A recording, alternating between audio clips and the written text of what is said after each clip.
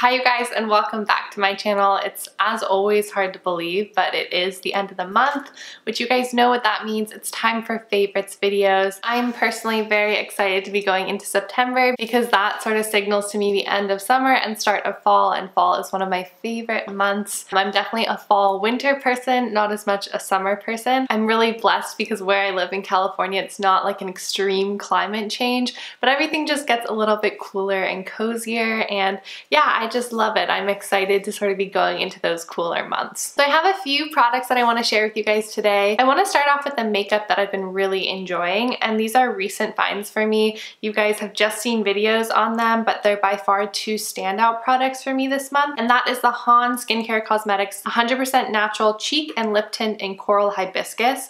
I'm just totally in love with this color. It's such a bright, vibrant pop of color. I'm wearing it today. You can really either build it up up and have something very, I think I just got some on my nose from sniffing it, but you can really build this up or you can wear it very naturally. I'm just in love with the price point of Han Cosmetics and I think you get a lot for that money. These are 100% natural products, which is wonderful. This pigment is incredible and I just love the smell and the formula is great to blend out. So if you're looking for a new cream blush, I would highly, highly recommend this color. I know that it's more of a spring summer color, but I promise you I'll be wearing this in the fall too. It's just a really nice natural flush of color, but a little something extra from your traditional blush. It's a little bit more vibrant. The next product is something very unique and something I've been wearing pretty much every day since I first started using it and that is the Gressa Eye Tint in Bronze.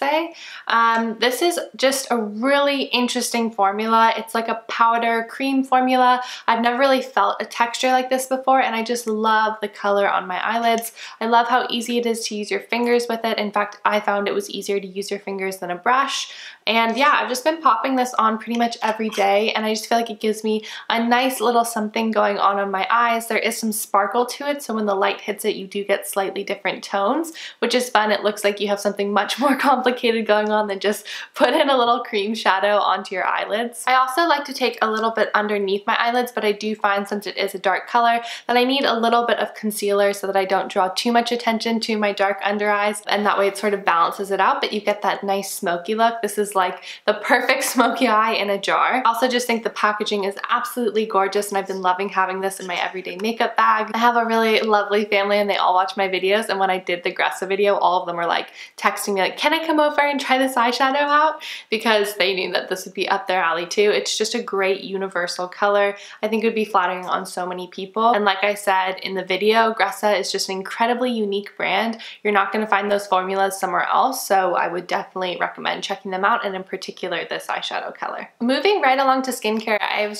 been trying out like a couple of new brands. I've mentioned this before, but I really feel like I have a skincare routine that's working for my skin and I'm really happy with. I think I will do a skincare video coming up. This has been a new addition to my skincare regime. I went on a trip with my sister in the month of August, um, at the beginning of the month, and we stayed overnight at the spa resort and we actually got a treatment done on our faces. It was called like the Glowing Goddess Facial and this resort is known for sort of their holistic natural treatment so everything was up that alley. In fact, we used Kypris products which I don't know if you've looked those up, they're very pricey but they look wonderful and I really enjoyed using them. And so I picked up a couple of the products that the esthetician recommended for me because I find that I do have very temperamental skin. And one thing she recommended to me is adding an acid back into my routine. You guys saw on Tuesday when I did my empties video that I used to have that glycolic serum that I would use and I would go off and on using that. I really haven't used that for a few months and I really just got rid of it because of the expiration date. And I have been missing an acid. It's sometimes hard to find brands that have a strong enough acid that fit the ingredients that I want to use. So when I found this brand and she recommended it, I was really excited. This is a brand called Luzern, and this is their Le Essentials. Oh man, I'm not going to try and butcher this, but this is their exfoliating pads. It's an acid exfoliating pad. I believe it's lactic acid in it. I of course can't find the box right now, so I can't double check that, but it is an acid pad. This is something that I use about three or four times a week, depending on how my skin is. If it's very dry or I feel like I've been overusing this, then I don't use it as often. If I feel like like I need a good clean out of my pores, then I will use this. And they just come in these little, very convenient cotton pads. And one thing that I really appreciate is that there's a protective little layer that you put back on top to try and keep as much air out as possible and to really make sure that these stay super, super fresh. I've had pads like this before. You know, when I was younger, I of course used like those Stridex and, and Neutrogena pads, which now I look back on it and I get so angry at myself because really I was just over drying my skin. But anyway, it's sort of that same idea except the quality of ingredients is amazing in here. It's 12 toxin free. Mm-hmm. You guys can look up their philosophy, see if these ingredients align with your personal philosophy. For me, this has been a really clean acid to add back into my routine and I've been loving the results. I feel like my texture is so much better. I feel like my skin is a lot brighter and I always wake up the next morning and if I have some sort of spot or something on my face the night before, there's a significant decrease in size and redness and soreness. So these are really making a huge difference for me and I'm gonna look more into their brand because I really like that they're a very clean clinical brand. So this isn't 100% natural, but the ingredients are really curated in a very thoughtful way and I feel like everything that's in this is really effective and necessary and something that feels good to be putting on my skin. I also will say their price point is great. These were $48 which I don't know if that sounds like a lot to you guys, but for me, a good acid that I feel confident about at only $48 is amazing. So I'm really happy with this purchase. I guess I could have done these skincare favorites in a better order, but the next product is actually what I used beforehand. Before beforehand, because I usually do a double cleanse. This is the first cleanse that I do, and this is the One Love Vitamin B Enzyme Cleansing Oil. As you can see, I've used a decent amount of it, but I've had it for a few months now, and I'm sort of impressed by how long this has lasted. I use this every single night to take off my makeup. I use it after videos to take off my makeup sometimes and I just really am loving this oil cleanser. I know I talked about how I found a new oil cleanser in my last video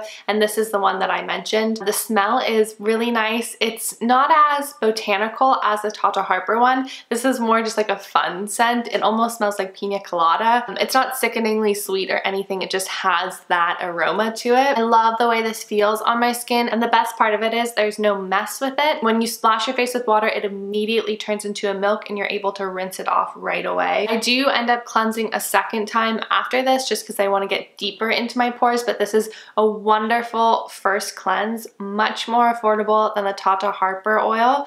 And I think it's easier to find too. I found this at Pharmaca and yeah, I've just been really impressed with it. I was intrigued by the idea that this is also slightly exfoliating. I'm not really sure if I've noticed that, but it does take off off all my makeup. It is something that I notice can be sensitive around my eye area, so sometimes I don't use this. If I have a lot of eye makeup on, then I'll use something else, but I think it's fine to use on your eye area, so I don't know if that's just my personal sensitivity.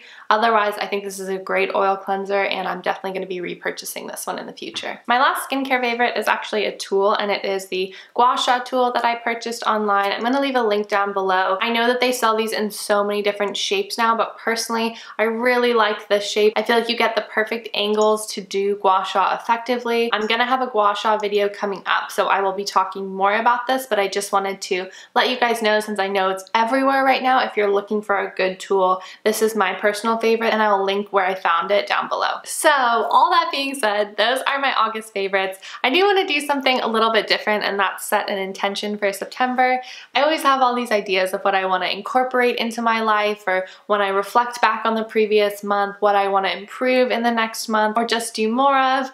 And I felt like it'd be a good way to hold myself accountable by doing September intentions and then sort of checking in with you guys at the next favorites video and letting you know how that went. So I'm gonna try and set three intentions for the next month. Three for me feels like a very manageable number, something that I can try and incorporate in my everyday routine. And depending on the month, it might be bigger things, it might be smaller things, but for September, I really wanna try and get back into meditation, something that I found really helped with anxiety, really helped just calm my nervous system down, calm me down, and feel a little bit more present. So that's one goal. The second goal is to try and wake up earlier. I get in this habit because I work from home of just staying in bed bed and I'm definitely not a morning person.